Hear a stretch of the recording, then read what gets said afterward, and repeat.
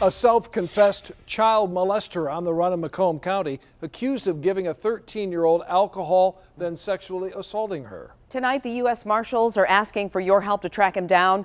7 Action News reporter Anne Marie LaFlame has this week's Detroit's Most Wanted. Brent Jeffrey admitted to the horrific crime against a young girl, but when it was time to be sentenced, he was nowhere to be found. The U.S. Marshals say he's still in the Macomb County area and that he has family helping him hide. It, it's my baby. It, it, happened to my baby, and I love my, my daughter very much.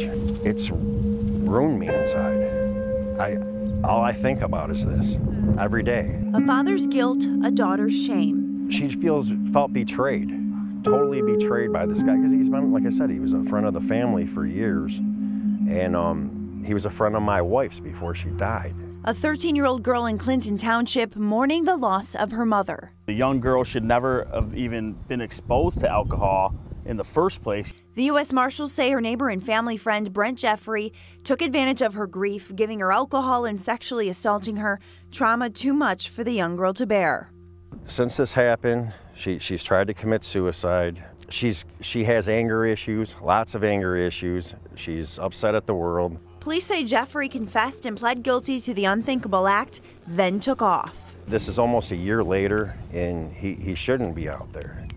And it, it, I look for him everywhere. The U.S. Marshals are now on the case, and they need your help to find this child sex predator. Uh, the information we have is he's hopping from hotel to hotel, these little uh, these little rinky-dink hotels. Brent Jeffrey is 34 years old. He's six feet tall, 190 pounds. His ties are all in the Macomb County area, Clinton Township, Macomb area. Yeah, the kind of work this guy does with siding and the construction stuff, uh, he could, you know, he could be in anybody's house. He could be doing, I mean, when you get these jobs, you don't ask for a background check on these people. Jeffrey is at the top of the most wanted list as the U.S. Marshals fear there could be more victims.